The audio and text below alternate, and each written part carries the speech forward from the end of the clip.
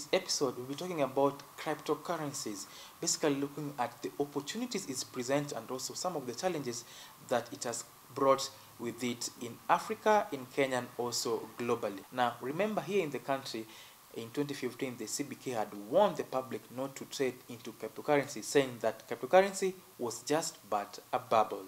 And also in Saudi Arabia, now the country has banned trading in cryptocurrency.